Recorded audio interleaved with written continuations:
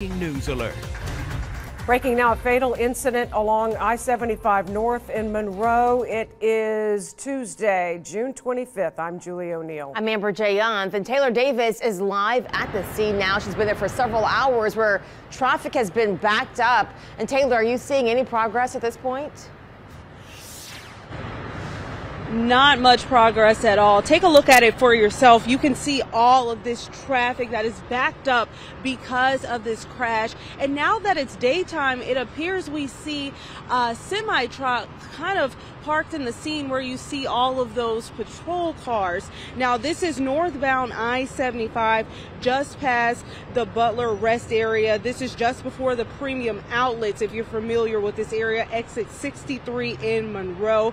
Again, this is because of a crash. However, we're still a distance away, so we're showing you what we see from the area we are in right now. You are looking at the three lanes blocked on I-75 North.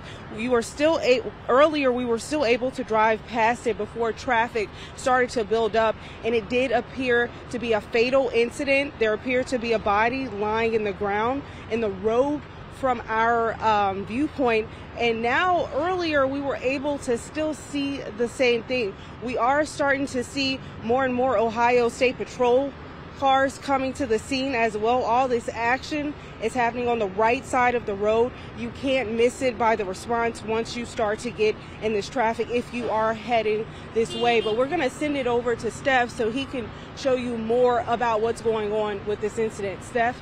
Hey there, Taylor. Thanks for the live update. And wondering uh, if the uh, I don't see it in the line of cars there. Wondering if the uh, the uh, coroner's uh, van is there yet because, of course, police have to check out the entire scene before they can remove uh, that person from the area there just north of the rest stop. You see all the traffic moving over to the far left lanes. Uh, we're going on three hours now since this initially happened just before 3.30 this morning. So it's a, an intense situation, as you can imagine, and our prayers go out to the family of those, uh, whoever the victim is. We don't know if it's a man or woman yet, but we're working to get more information.